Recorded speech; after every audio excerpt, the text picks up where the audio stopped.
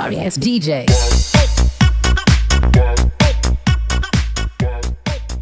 Halo dulur, Assalamualaikum warahmatullahi wabarakatuh. Berjumpa kembali di my channel, my MJ Pro Official. Kesempatan siang hari ini Saya mau review satu unit uh, Genset Silent Pabrikan dulur ya Pabrikan dengan brandnya Yanmar. Silen dia Yamagen dulur Yamagen super silen. Genset di depan saya ini punya juragan petong sound system magetan dulur ya. Ke sini uh, nama juragan Abah Fauzi bosnya BNC Magetan. Bisa dikatakan begitu. Lebih kerennya dia juga punya channel yang dinaungi anaknya yaitu sound kompor dulur. Jadi uh, unit genset punya sound kompor buat melalang buana buat cek sound dulur ya. Buat cek sound demo produk. Pesanan trailer dipercayakan kepada kami MJ Pro Official dulur ya. Nah uh, yang kita tunggu-tunggu saya akan review apa sih e, bedanya dan modelnya seperti apa Yanmar Yamagen 20 KVA ini. Itu ya dulur. Langsung saja kita masuk ke trailernya kita masuk ke trailer-trailernya ya kurang lebih seperti ini dulur. Unit pakai gardan as pakai gardan. Ring pakai 14 modifikasi peleknya Vansa dulur. saya kasih peleknya Vansa ini pelek kaleng. Itu ya dulur. Buat per kolte dulur ya. 7 cm itu ya dulur ya untuk trailer ini pesanan ya lumayan lumayan dipercantik dulu ya. Tak kasih sentuhan lumayan cantik lumayan bagus. Belakang saya kasih aksesoris di bumper lampu juga saya kasih uh, tambahan berdes sedikit untuk mempercantik posisi belakang dan juga uh, keamanan pas ditarik ketika ada mobil di belakang eh, dari platnya berdes ini yang chrome ini itu akan memantulkan cahaya. Jadi langsung terlihat bahwasanya di depan ada narik genset gitu ya Dor ya. Lebih aman. Itu ya untuk memperjelas pandangan dulur itu dari sini modelnya juga seperti ini dulur. Itu dulur ya. Oke langsung saja kita lihat kondisi di panel.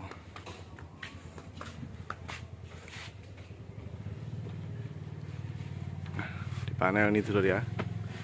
Masih lengkap orian juga temperatur temperatur panas suhu mesin pol dari ampere ampere aki. Ini tekanan oli unitnya 0 sampai 5 bar. Lengkap untuk selektor voltmeter selektor ampere karena ampernya satu jadi dikasih selektor. Jadi dia per fase bisa RST gitu ya dulur kita mau ketika mau lihat beban R nya di sini beban T nya di sini ya dulur ya. Nah untuk R atau untuk voltmeter juga satu. Makanya dia dikasih uh, selektor. Nah HM dari unit genset ini sekitar 1700an dulu ya. HM pemakaian sekitar 1700an jadi uh, si yang punya yang punya genset ini dulunya dia dapat itu dari ex bank. Jadi bekas bank. Itu ya dulur ya untuk DSE, Dipsi masih Orian semua masih Orian. Itu ya dulur tuh. Jadi dapatnya unit genset ini dari X Bank. Nah. Langsung kita lihat kondisi dalam dulu ya. Nih untuk unit dalam.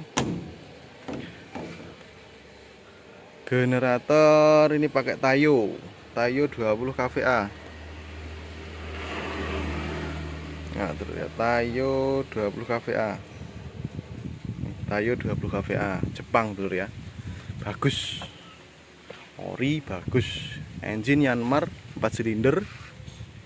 Nah unit ini kemarin dari Abah Fauzi eh, ada servis sedikit sama maintenance dulu ya.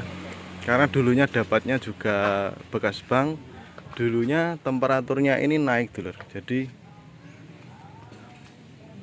temperatur ini hampir nyala 4 jam itu hampir memenuhi dari overhead. Dari jam 12 sampai jam 1 dulu ya. Itu bahaya. Jadi kondisi mesin terlalu overhead terlalu panas dulu ketika nyala hanya 4 jam. Dan yang trouble kedua itu di temperatur atau eh, bukan temperatur dulu dari tekanan oli. Tekanan oli ini juga ngaco. Nah, nanti akan saya jelaskan apa penyebabnya dari kedua trouble yang terjadi di sini. Ya yang pertama trouble terjadi di temperatur naik. Panas berlebihan overhead nah kita masuk ke sini dulu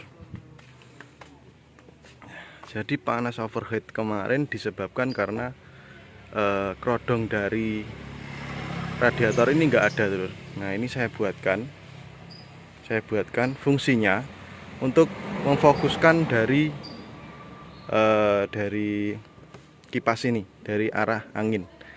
Karena unitnya silen jadi e, fungsi dari kipas ini harus sangat-sangat benar-benar diperhatikan dulu jadi hisap dan buangnya itu harus diperhatikan. Nah ini setelah saya kasih kerodong temperatur aman. Enggak naik enggak, enggak naik lagi dulu nah yang kedua trouble di sensor switchnya atau FDO e, tekanan oli. Nah ini ini saya ganti baru dulu yang lama itu sudah di blandre atau sudah diganti. Nah gantinya itu salah. Di sana di panel meter temperaturnya eh, di panel meter FDO nya tekanan oli itu 0 sampai 5 bar. Nah ini dipasang 0 sampai 10 bar jadi otomatis ngaco dulu ya? Jadi kalau temperatur ini ngaco nah kalau temperatur lagi tekanan oli meter oli ini ngaco sampai mentok sampai gini otomatis switch sensor FDO itu tidak sesuai itu ya nah ini 0, sampai 5 bar. Di sana harus juga 0 sampai 5 bar dulu gitu. Di uh, sensor switch oil ini. Temperatur oli ini. Itu ya telur. Ini sudah saya ganti baru sesuai dengan speknya Yanmar. 0,5 bar untuk tekanan olinya. Sekarang sudah normal. Tuh telur. Oke apalagi? Dari sini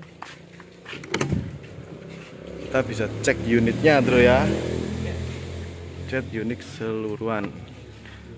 Tipe mesin pakai Yanmar 4 TNE 84 satu unit aki 12 volt.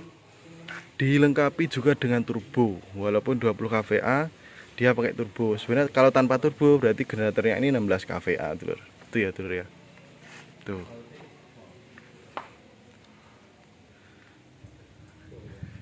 unit servis dan bersih-bersih kemarin dulur ya. Maintenance sedikit dan bersih-bersih itu ya dulur sama pembuatan trailer dulur oke langsung kita coba ya dulur ya. Kita nyalakan dulur ya.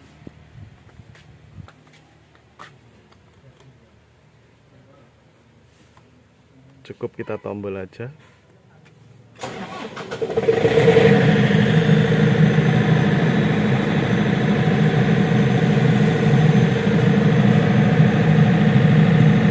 normalnya ini ya dulur nor- normalnya dia 2 sampai 3 bar. Ketika dia panas dia akan turun kurang lebih 2 bar. Untuk temperatur normalnya dia di jam 11 itu ya dulur ya? Tuh. Jam 11 di sini dulur ya? Itu aman ini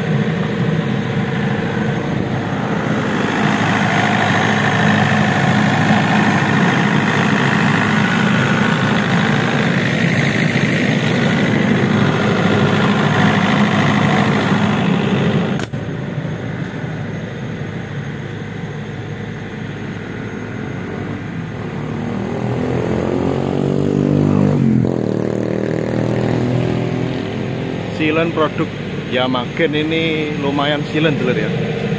Cukup bagus silnya walaupun ini udah second tapi wah masih tetap bagus.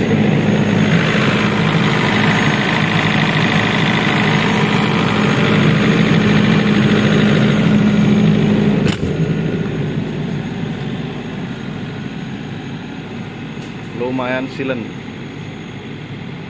super silen eh, dari kapasitas unitnya sih 20 kVA cuman bener-bener silennya bener-bener redam sekali dulu ya.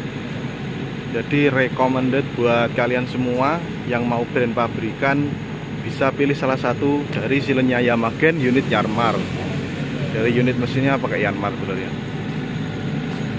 Untuk generator Taiyo wah itu udah bagus tuh. Tayo 20 kVA spesial buat juragan petung sound system dan sound kompor dulur.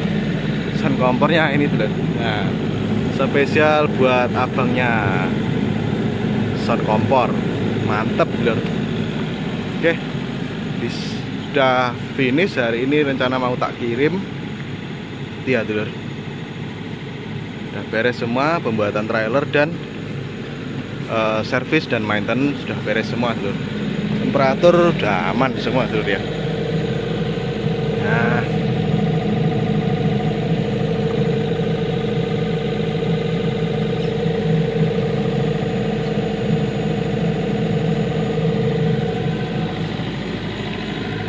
Udah ganteng dulu ya